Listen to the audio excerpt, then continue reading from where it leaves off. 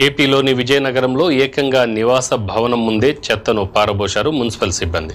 ఆ భవనం యజమాని అడ్డుకున్నా వినకుండా ఆయన కళ్ళెదుటే ఆ భవనం ముందు చెత్తను పారబోశారు. ఈ ఘటనకు సంబంధించిన వీడియో సోషల్ మీడియాలో వైరల్ అయింది. దీనిపై ప్రజల నుంచి తీవ్ర వ్యతిరేకత వ్యక్తమవుతుంది. లోపల వేయకండి. లోపల వేయకండి. ఇక్కడ వేస్తున్నా. వే- లోపల ఎందుకు వేస్తున్నా లోపల ఎందుకు వేయ- లోపల ఎందుకు వేస్తున్నారు రండి అపార్ట్మెంట్ అందరూ రండి కిందకి రండి అపార్ట్మెంట్ కిలో వస్తుంది లోపల ఎందుకు వేస్తున్నారు చెప్పండి ఏయ్! చెప్పండి. అది చూడండి మరి చూడండి లోపల ఏయ్! వేయకండి ఏయ్! లోపల వేయకండి ఇక్కడ లోపల ఎందుకు వేస్తున్నారు ఏయ్, రండి. ఏయ్, నువ్వు రాను లోపల ఎందుకు వేయ-